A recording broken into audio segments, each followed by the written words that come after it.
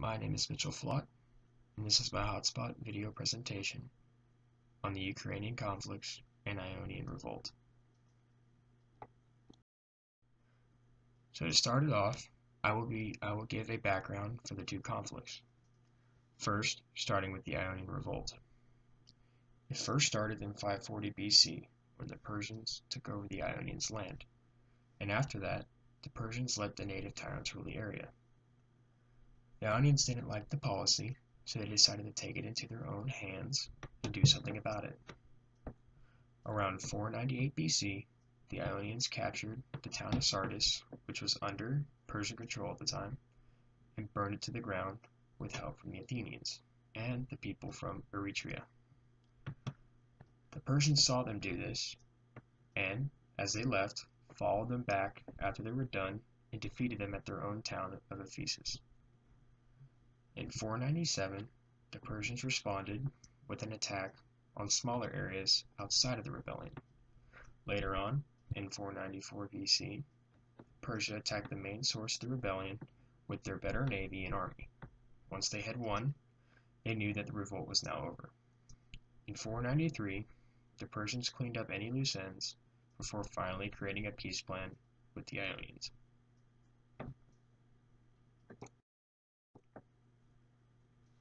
For the background of the Ukrainian conflicts, it started in uh, 20, 2014 and began on early February 2014 when the pro-Russians caused unrest across the southern region of Ukraine and Crimea.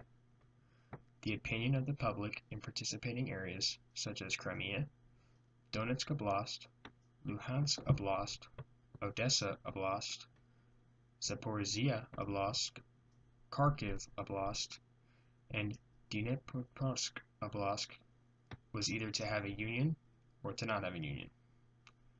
41% of those participants were Crimean in favor of a union, 33% were from Donetsk Oblast, and 24% were from Luhansk Oblast, and another 24% were from Odessa Oblast in favor of a union. Crimea was one of the main areas that had the most problems.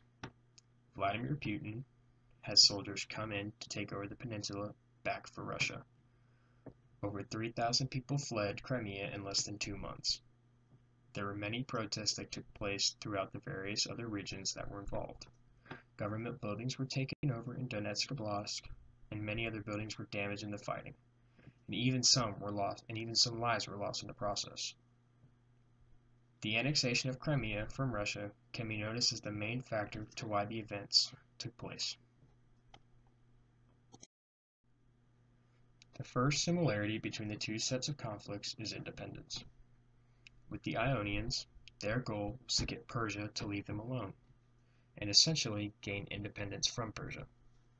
They were defeated in their attempts to gain their independence once the Persians took over Miletus, which was their central HQ for the revolt.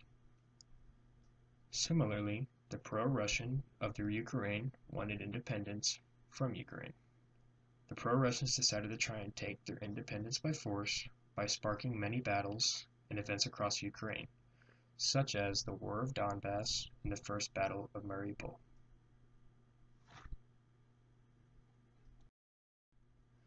The Ionians didn't receive their independence because the Persians defeated them in a battle at Miletus.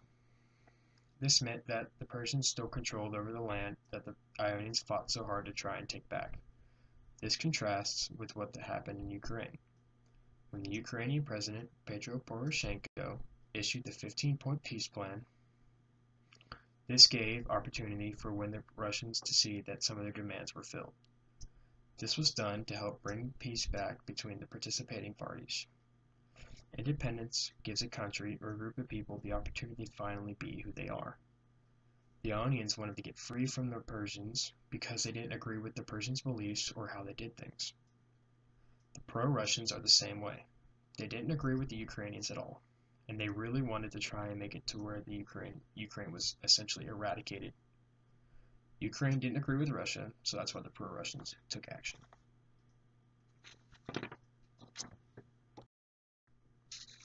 Peace was achieved by the Ionians and the Persians. The Persians instilled a plan for peace that both sides thought were fair and just. Technically, the Ionians didn't get to create their own peace plan, but the Persians accounted for that and made it somewhat fair and for both sides.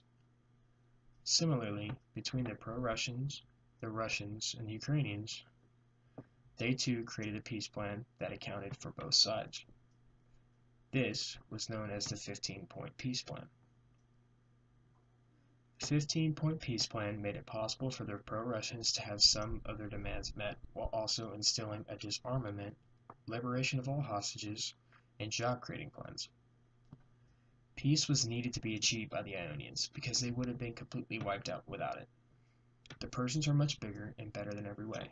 The same goes for Ukraine. Ukraine needed to reach a peace agreement with Russia and the pro-Russians. Russia is a lot bigger and better than Ukraine in about everything. They're more militarily advanced and better trained.